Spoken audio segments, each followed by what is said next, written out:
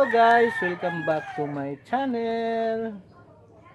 Ayan guys, pakita ko sa inyo ang ang pag-install ng mini driving light. Ayan. At ito ang mga gamit natin guys. Mga pangailangan. So relay, tape, fuse. Ayan, at saka ito sa relay niya guys, at saka flexible hose guys para sa safety sa mga ground ground papunta doon sa loob. Pasok natin dito ang wire. So yan guys at yan ang gamit natin cutter. At ito ang tester guys. So kailangan natin guys mahanap dito ang linya ng positive. So magbigay lang ako ng diagram guys para maintindihan nyo kung saan po siya dinaan at saan ko siya uh, saan ako kumuha ng linya na positive so yun lang guys. Stay tuned at hanggang sa huli na ipakita ko sa inyo kung saan siya idadaan. Ang pag-install ng mini driving light. Stay tuned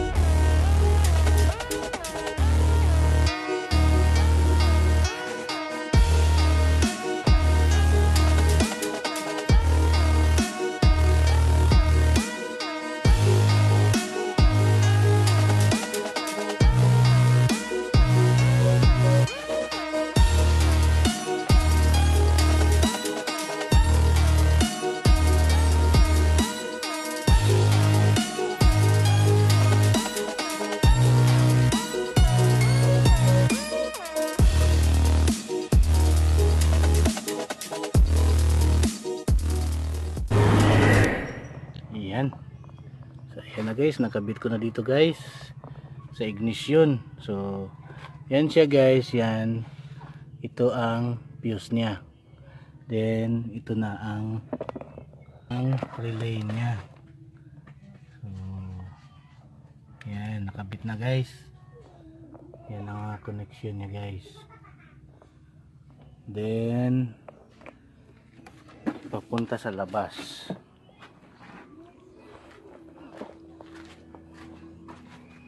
Yan. Yan. So, ito ang wire guys. Yan na ang linya papunta dyan. Yan. Papunta dyan. Yan dalawa. So, lilinyahan ko muna guys. Stay tuned.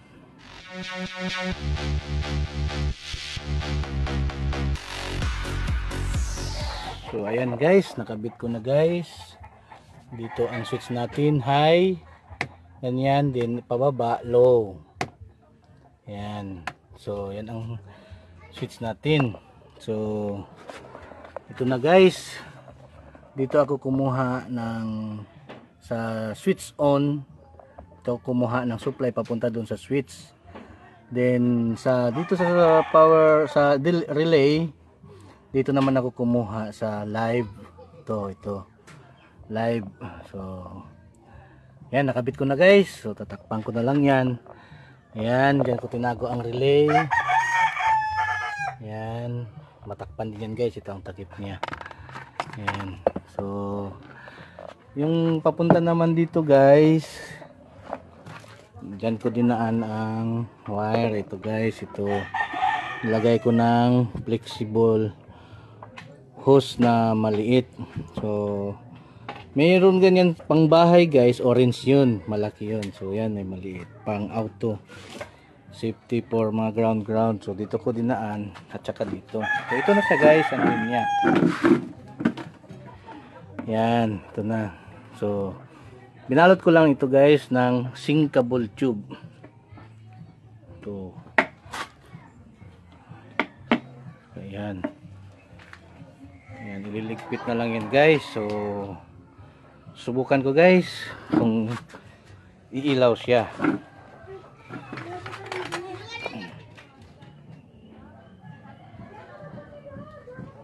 yan ang high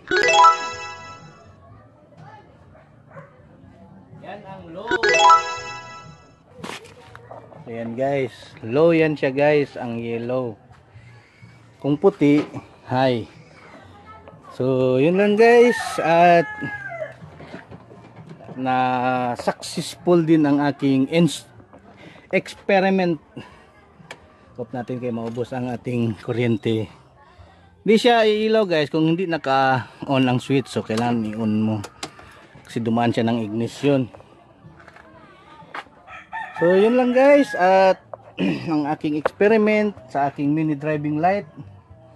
So gagawa lang ako guys, gagawa lang ako ng diagram para maintindihan nyo kung paano ko siya kinabit. At paano ko saan ko dina, dinaan. So doon na lang yun sa papel guys.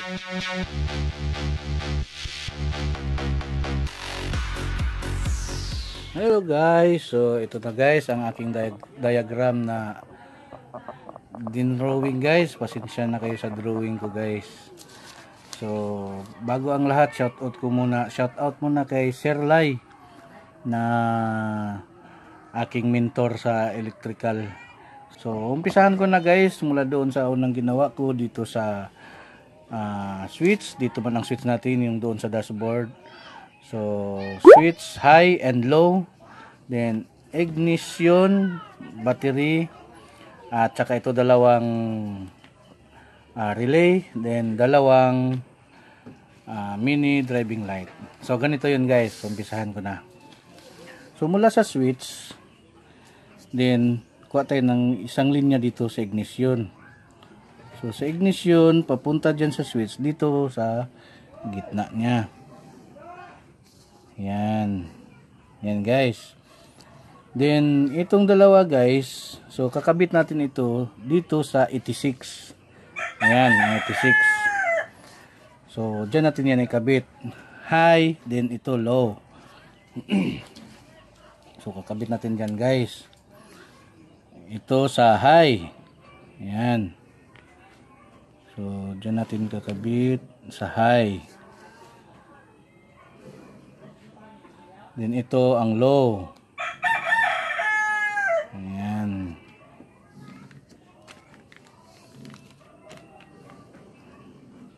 Sinsya na kayo sa papel ko kasi wala akong nakitang malaki-laking papel kundi ang kalendar. Oh, so yan sa switch high and low. So dito naman tayo guys sa relay, dalawang relay. Ito sa high and low, dito ang 85, ito ang ground. Ground ito guys. So body ground na lang natin yan. Yan. Kahit doon sa ginawa ko, body ground na lang ako para hindi na ako gagastos ng malaking, mahaba na wire. Oh, so yan na. Then, ang sa dito sa kuan guys, sa mini driving light, tatlong wire. So, yellow, ah, ano ba yun, puti at saka itim. So itong itim, ito ang ground. So body ground na lang rin guys. Yan. Body ground. So kakabit natin ito. Ito rin may high and low. So palagay natin ito ang low. Ito ang high. Yan. High, then low. So ang low, bawat isa rito guys, may bawat isa may relay. So, ito ang high. Dito natin ikakabit ang high ng ilaw. So, ito high.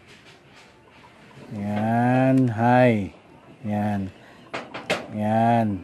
Oh, high. Sabayan sila guys. Yan. Then, itong low na naman. Yan natin.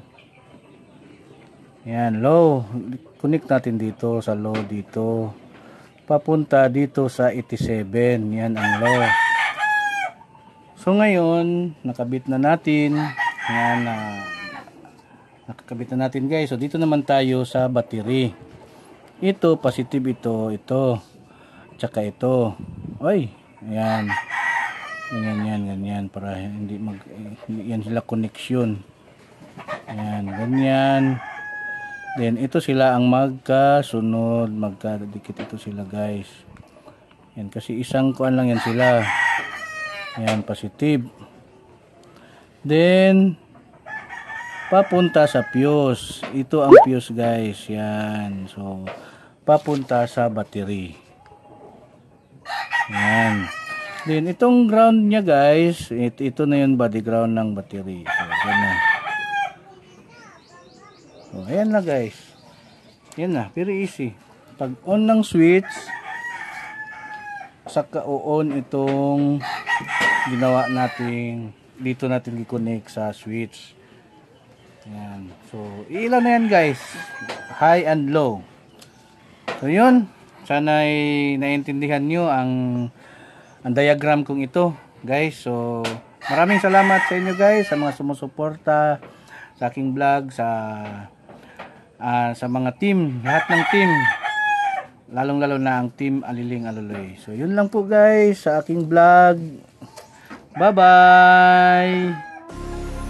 Let me take you for a ride